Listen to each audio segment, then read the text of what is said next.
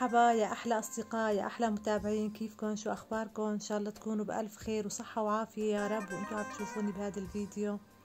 آه رجعت لكم اليوم بوصفة جديدة من وصفاتي هي سلطة المعكرونة بالخضار والطونة.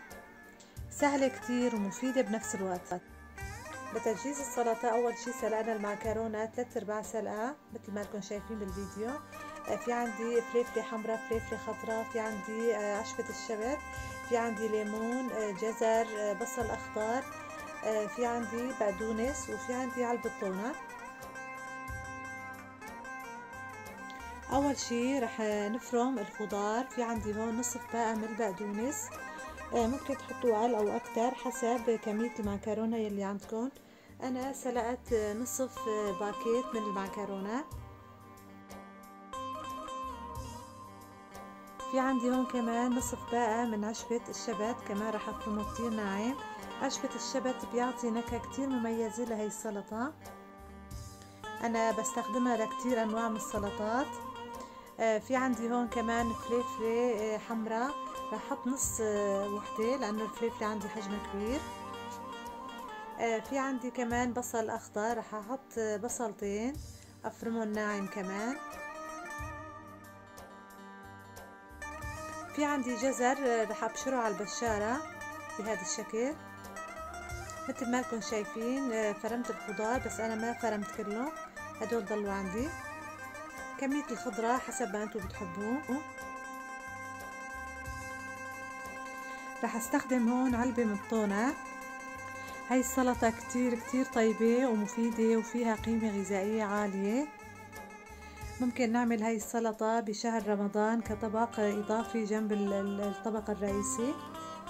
بصراحة أنا لما بساوي هاي السلطة فأولادي بيكتفوا بهاي ما بساوي أكل تاني جنبها آه، لأنه بتشبع وهي معكرونة عجين وفيها خضار وفيها طونة فبحسها فيها قيمة غذائية عالية يعني بتشبع منيح.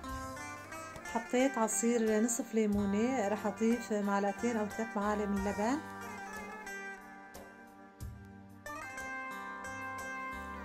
وفي عندي مايونيز رح أحط معلقتين أو ثلاثة حسب ما أنتم بتحبوا بتحبوا كمية المايونيز أكتر أو أقل.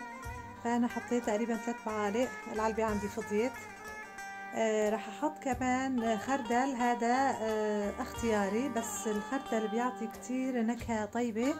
حطيت ربع معلقة كبيرة. ورح أحط ملح آه نعناع يابس. ممكن نحط فليفلة ناعمة كمان. بس أنا ما استخدمت الفليفله لأنه الفليفله اللي عندي حد وبنتي ما بتحب الحد فاستغنيت عن الفليفله أنا. آه رح نخلطهم كتير منيح مع بعضها بعدين رح أضيف الخضار عليها.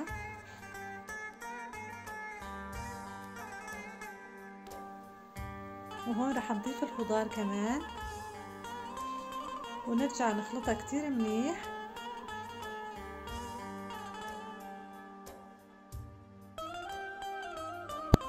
وبعدين رح أفضي المعكرونة فوقها وأخلطها وقتها بدوها اذا بحاجة لملح بحاجة لمايونيز ممكن أحط إضافات تانية.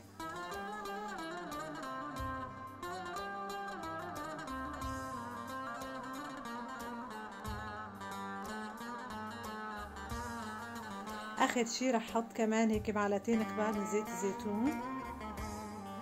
وهيك وصفتي صارت جاهزة آه، قدمته بهي الطريقة. إن شاء الله تكونوا حبيتوا طريقتي في التقديم. آه، فيكم تقدموا بالطريقة اللي أنتم بتحبوها وبتمنى تجربوها وتعطوني رأيكم في التعليقات. وهيك وصلنا لآخر الفيديو. حبايبي إذا ما كنتوا مشتركين عندي في القناة بتمنى تشتركوا في القناة. وقبل ما تطلعوا من الفيديو ما تنسوا تحطوا like وتفعلوا زر الجرس لحتى يصلكم كل شي جديد. وشكرا لحسن الاستماع والمتابعة وإلى اللقاء دائما بوصفات جديدة و bye bye.